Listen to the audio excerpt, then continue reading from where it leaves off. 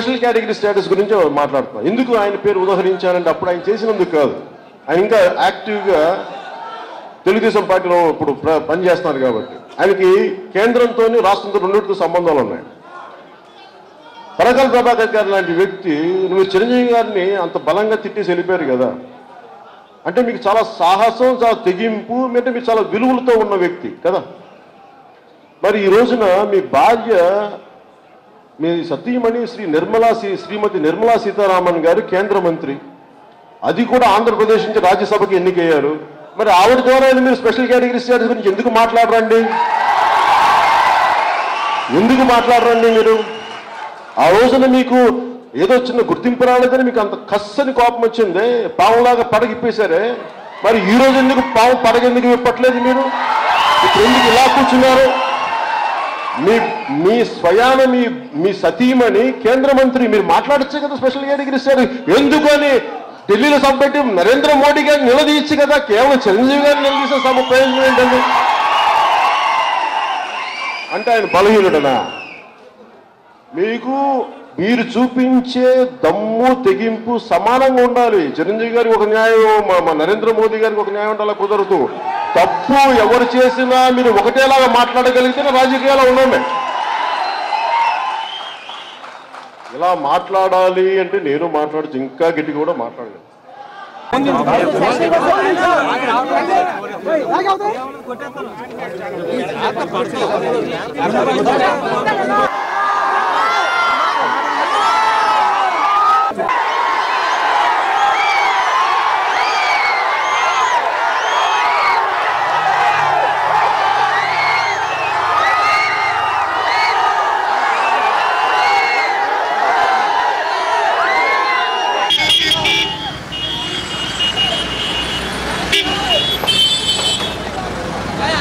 గురించి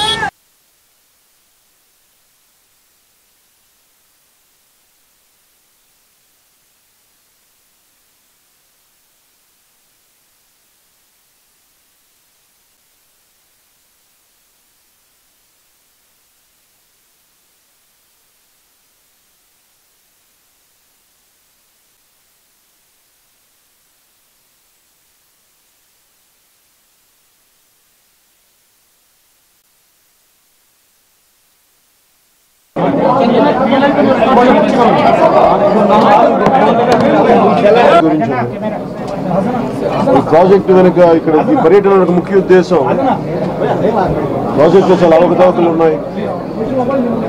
మన అసలు నాకు పోలవరం ప్రాజెక్టు గురించి అవగాహన కొంత పరిమితమైన అవగాహనే ఉంది. సంపూర్ణంగా తెలుసుకోవడానికి దాని పుట్టు పూర్వోత్తరాలు ఏంటి అసలు ఎప్పటి నుంచి స్టార్ట్ అయింది? బేసిక్గా ఇది పోలవరం ప్రాజెక్ట్ స్టార్ట్ అయింది. Sir Arthur Cotton Dowleswaram bridge కట్టే టైంలో అప్పుడు చీఫ్ ఇంజనీర్ కృష్ణస్వామి అయ్యారు. ఆయన ప్రపోజ్ చేసింది. ఒక నూట యాభై అడుగుల ఎత్తులో ఒక ఇరిగేషన్ ప్రాజెక్ట్ ఉంటే చాలా మందికి ఇది ఉపయోగపడుతుంది చాలా అని చెప్పి స్టార్ట్ చేసి అక్కడి నుంచి సక్సెసివ్ గవర్నమెంట్స్ ముందుగా పండిట్ నెహ్రూ గారు పండిట్ జవహర్లాల్ నెహ్రూ పంతొమ్మిది వందల ఫిఫ్టీ ఫైవ్.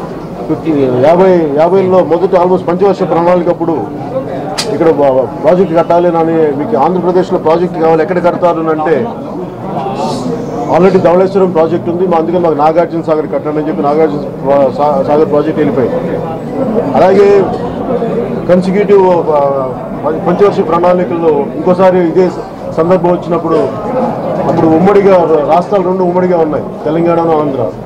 అక్కడ మాకు తెలంగాణలో మాకు ప్రాజెక్ట్ లేదని మన మా నాయకులందరూ అన్నప్పుడు అక్కడ శ్రీరామ్ ప్రాజెక్ట్ అటు స్టార్ట్ చేయడం జరిగినప్పుడు ఇది పోలవరం ప్రాజెక్ట్ అనేది ఏ ఒక్క ప్రభుత్వానిదో ఏ ఒక్క ఇప్పుడున్న ఏ ఒక్క పార్టీదో కాదు. ఇది బ్రిటిష్ ఇండియాలో ఉన్నప్పటి నుంచి స్టార్ట్ చేసిన ఒక ప్లాన్ ఇది. నేను ముఖ్యంగా నేను ఆలోచించేది ఏంటంటే ఏ ప్రాజెక్ట్ వినగానే ఇది పర్యావరణానికి ఎంత దెబ్బతీస్తే ఏ ప్రాజెక్ట్ అయినా నేను ఏదైనా ఒక ప్రాజెక్ట్ స్టార్ట్ చేసినప్పుడు మనం అనాలిసిస్ చేయాల్సింది ఏంటంటే ఈ ప్రాజెక్ట్ వల్ల జరిగే బెనిఫిట్ ఎంత నష్టం ఎంత? ఎకలాజికల్ బ్యాలెన్స్ ఎంత దెబ్బతింటుంది? ఎకలాజికల్గా పర్యావరణానికి ఎంత నష్టం కలుగుద్ది? వీటన్నిటిని దృష్టిలో పెట్టుకొని నేను నాకు ఎప్పుడు ఉంటుంది. అంటే రకరకాల ఇప్పుడు మనకి నర్మదా బచావ్ ఆందోళన కానీ అలాగే మేజర్గా ఒక పెద్ద ప్రాజెక్ట్ చేసేటప్పుడు పునరావాస కార్యక్రమాలు చాలా దెబ్బ చాలా కష్టాలు ఉన్నాయి అంటే నిజంగా పునరావాస సహాయ కార్యక్రమం సరిగ్గా జరగవు. ఒక బెనిఫిట్ కోసం ఒక లక్షల మందికి బెనిఫిట్ కోసం కొన్ని వేల మంది నిజంగా వాళ్ళ జీవితాలు త్యాగాలు చేయాల్సి వస్తుంది. కొన్ని విషయాలు ఒక యాభై లక్షల మంది కోసం కొన్ని లక్షల మంది త్యాగాలు చేయాల్సి వస్తుంది. అది ఒక నెససరీ ఈవిల్ అది చాలా బాధాకరమైంది. సమస్యలు ఎక్కడ వస్తాయంటే మనకి ఏవైతే మనకి కాంపెన్సేట్ చేయాలో అవి చేయనప్పుడే చాలా వస్తాయి. సో అలాగే పోలవరం పునరావాస కార్యక్రమాలు ఎలా ఉన్నాయి అది కూడా నేను పరిశీలించడానికి వచ్చాను. ఆ దృష్టి ఆ దృష్టికోణం నుంచి కూడా చూశాను. దీన్ని అలాగే దీన్ని అంజయ్ టీఎన్జే గారు ఇనిషియేట్ చేసిన ప్రాసెస్. ఫస్ట్ కాంగ్రెస్ ఉమ్మడి రాష్ట్రంలో టీఎన్జే టీఎన్జే గారు ముఖ్యమంత్రిగా ఉన్నప్పుడు ఇనిషియేట్ చేశారు జలగ వెంగళరావు గారు. తర్వాత టీఎన్జే టీఎన్జే గారు దీనికి ఫౌండేషన్ ఫౌండేషన్. ఇది అప్పటి నుంచి ఇది ఎప్పటికప్పుడు ఇది పోస్ట్ పోన్ అవుతా ముందుకు వెళ్తా ఉంది. ఇది బేసిక్గా పోలవరం అనేది చాలా మ్యాసివ్ ఇంజనీరింగ్ నీడ్స్ ఉన్న ప్రాజెక్ట్ ఇది. చాలా కష్టమైన ప్రాజెక్ట్ చాలా డిమాండింగ్ ప్రాజెక్ట్ చాలా ఛాలెంజింగ్ టెక్నికల్ ఆల్సో చాలా ఛాలెంజింగ్ ప్రాజెక్ట్ అంటే నేను ఇది ఆబ్జెక్టివ్గా చూడదలుచుకుంటాను. మంచి చెడు రెండింటి సంబంధం లేకుండా మీరు మీరు తినేసారు వీటన్నిటికంటే కూడా అసలు అసలు ఏమేమి జరుగుతున్నాయని అవకతవకలు ఎంత ఉన్నాయని ఈ మధ్య నేను కేంద్ర ప్రభుత్వం భా- భారతీయ జనతా పార్టీ ప్రభుత్వం కూడా పెట్టిన పె- పెట్టిన చాలా ఖర్చు పెట్టిన దాంట్లో చాలా ఎక్కువ మంది మీరు తినేశారు మీరు అని ఎక్కడో వాళ్ళకి సరిగ్గా నిధులు దారి మళ్ళించారనేది ఒక ఖచ్చితమైన ఒక ఆలోచన విధానంతో వాళ్ళ నిధులు ఇప్పుడు ఫండ్స్ రిలీజ్ రిలీజ్ చేయడం ఆపేశారు. ముందు క్లారిటీ వచ్చేవరకు ఇందులో ఇప్పుడు నేను ఇందాక పొద్దున మన రమేష్ గారిని అడుగుతున్నప్పుడు కూడా ఆయన అడుగుతుంది ఏంటంటే ముప్పై మూడు వేల కోట్లు అంటే నేను అడిగింది అసలు ప్రాజెక్ట్ ఎంత ఖర్చు అవుతుందంటే పదమూడు వేల పదహారు వేల కోట్లు. పదహారు వేల. దాంట్లో పదమూడు వేల కోట్లు ఓన్లీ ప్రాజెక్ట్కి. మిగతా మూడు వేల కోట్లు పునరావాసానికి అది వారు చెప్పింది. సో పునరావాస కార్యక్రమాలు ఎలా జరుగుతున్నాయంటే ఏ ప్రాజెక్ట్కి జరగనంతగా మేము న్యాయం చేస్తున్నాం అనేది దాని సపరేట్ ఫండ్ ఉంది. కానీ పదమూడు వేల కోట్లు రెండు వేల పద్నాలుగు వచ్చేటప్పటికి అది ఇరవై పాతి వేల కోట్లకి వచ్చింది. అది రకరకాల పరిస్థితుల వల్ల.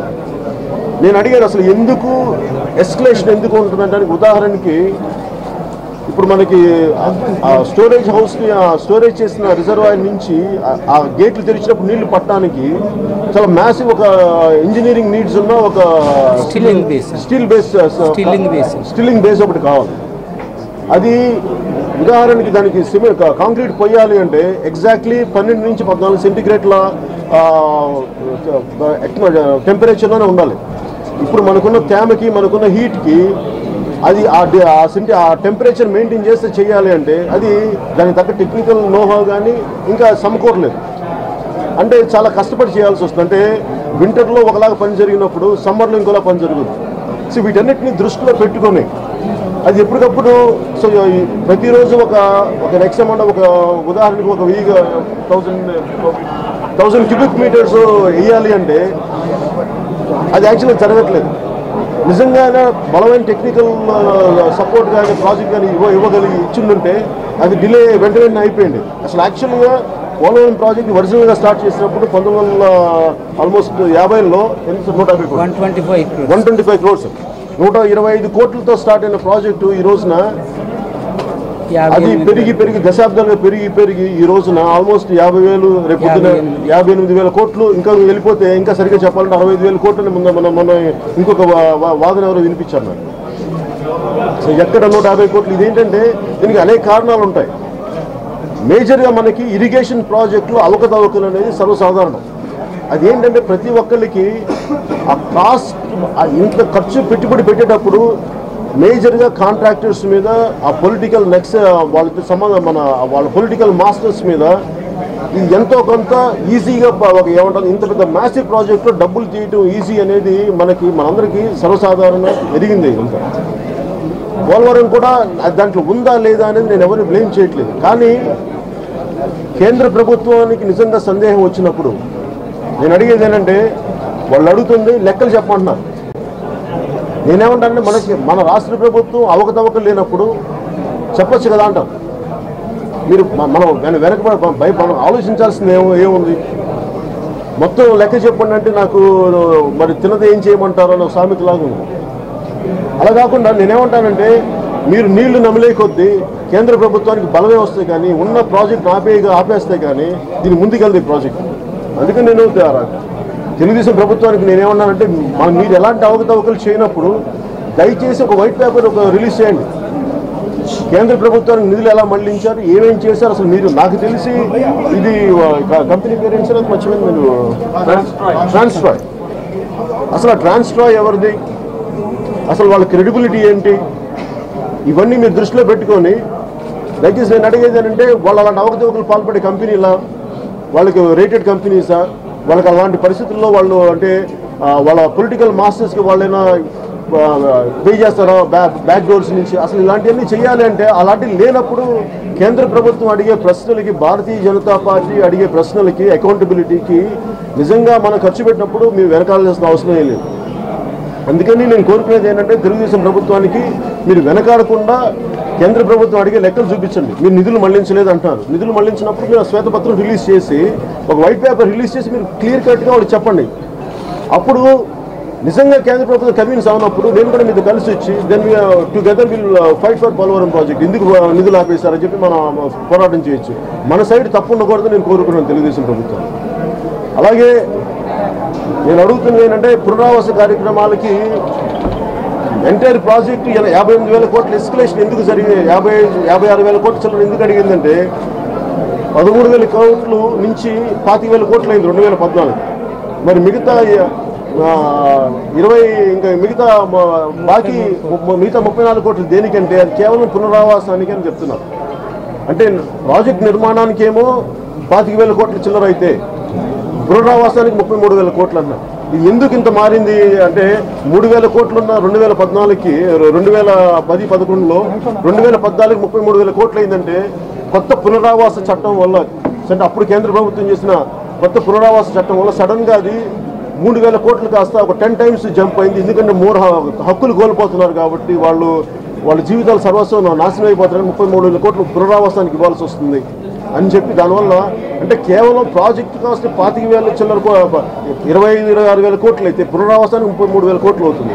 ఇందువల్ల పెరిగిందని మనకి ఈ దీనికి సంబంధించిన చీఫ్ ఇంజనీర్స్ కానీ ఇవన్నీ చెప్తా ఉన్నారు. అసలు వీటన్నిటి వెనకాల ఇవన్నీ ఉన్నప్పుడు ఇదే వాస్తవం అయినప్పుడు తెలుగుదేశం ప్రభుత్వం నాకు తెలిసి భయపడాల్సిన అవసరం లేదు.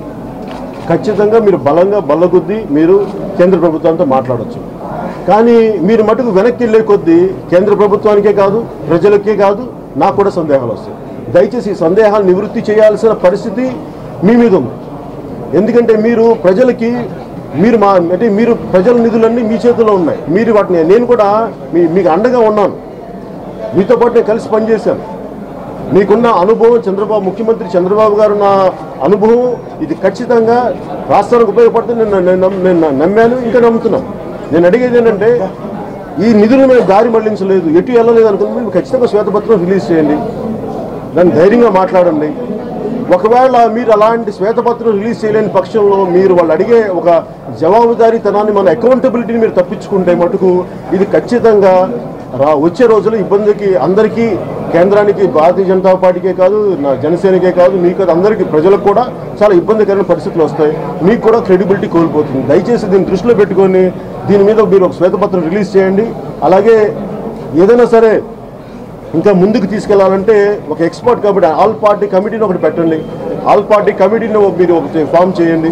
ప్రభుత్వం తరఫున మీరు క్లీన్గా ఉన్నారు గవర్నెన్స్ అని మీకు నమ్మకం ఉన్నప్పుడు ఆల్ పార్టీని పిలవండి. ఆల్ పార్టీ కమి ఆల్ పార్టీ మెంబర్స్ ఒకసారి ఇక్కడ ఇన్వైట్ చేయండి పోలవరం ప్రాజెక్ట్ ఇన్వైట్ చేసి చెప్పండి. మీరు మీరు భయపడాల్సిన అవసరం లేదు. మీరు ఏమాత్రం దిగు మీరు వెంప మీరు ధైర్యంగా ఉండాల్సిన అవసరం ఉంది ఇక్కడ. అంతేగాని ఒక మీరు వీటి నుంచి ఏది తప్పించుకున్నా కానీ ఈ పరిస్థితుల నుంచి ఖచ్చితంగా ఇది రెండు వేల పంతొమ్మిది ఎలక్షన్లో చాలా ప్రభావం చూపిస్తుంది నేను చెప్పడానికి మాత్రం వెనక వెనకాట్లేదు సబ్స్క్రైబ్ ఫర్ మోర్